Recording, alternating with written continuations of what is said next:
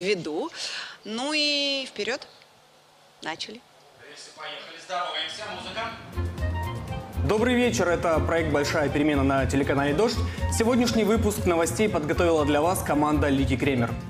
И с вами Александр Волошин и Анна Боброва. А теперь к главным новостям дня. Предложение засекретить потери военных в мирное время исходило от премьер-министра Дмитрия Медведева. Об этом сегодня в суде рассказала начальник отдела претензионной и судебно-правовой работы Минобороны Наталья Елена. По словам Елены, этот факт подтверждает, что Путин, подписывая документ, согласно которому все потери в мирное время засекречиваются, действовал в рамках своих полномочий.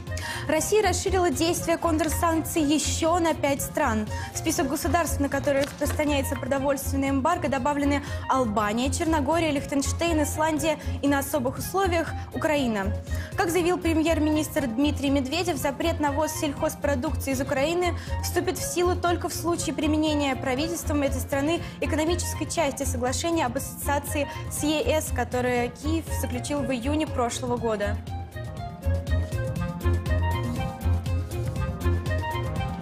Кафе «Фламинго» в Нижнем Новгороде, из которого вчера выгнали сестру модели и филантропа Натальи Водяновой, временно закрыли. Напомню, хозяину заведения не понравилось, что девушка, цитата, «отпугивает клиентов». У Оксаны Водяновой аутизм и ДЦП.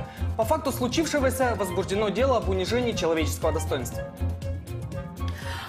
Выборы без выбора в Омской области. Главный конкурент действующей главы региона, независимый кандидат от партии КПРФ, не прошел муниципальный фильтр. Не хватило одной подписи. Обидный казус спровоцировала пенсионерка, районный депутат, решившая поддержать сразу двух кандидатов в губернаторы. Ее подпись аннулировали районный суд, кандидата от коммунистов не поддержал, и сейчас он готовит обращение в Верховный суд. С подробностями Лейла Алиева.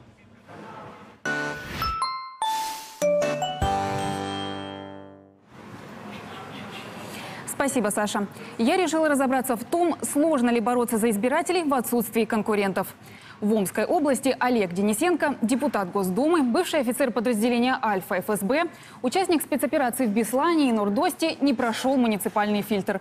В день сдачи подписей в избирком обнаружилось, что две из них продублированы в подписных листах его конкурента – единоросса, временно исполняющего обязанности губернатора Виктора Назарова.